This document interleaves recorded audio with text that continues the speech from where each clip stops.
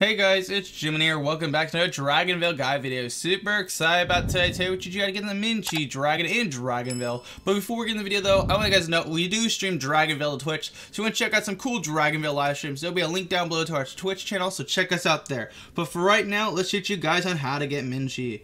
So what we're gonna do is go into breeding hints. We're gonna look up hidden for Minchi, because that's its typing, and read the breeding hint to you guys and tell you guys what you will need. This dragon can only be summoned with the 10 shells, which I'll explain what those are, and a stone shell shell dragon. Okay, so the first step we need to do is get a stone shell dragon. Luckily for you guys, I have a stone shell dragon right here. And then the next step we'll need, which will be the second step, is to get the 10 evolution items. So there are 10 items you can get. They're all shells, and all 10 of them are 10 different colors. So you can see right here, I have all 10 different colors right here just chilling.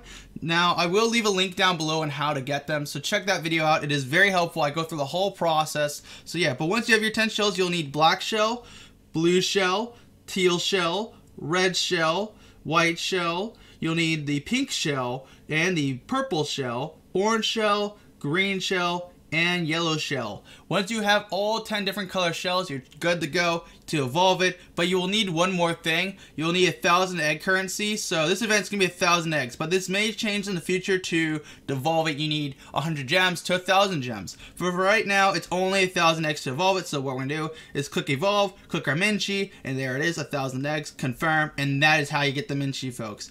If you did enjoy this video today, make sure to smash that like button, Dragon Punch the subscribe button if you found it helpful, of course.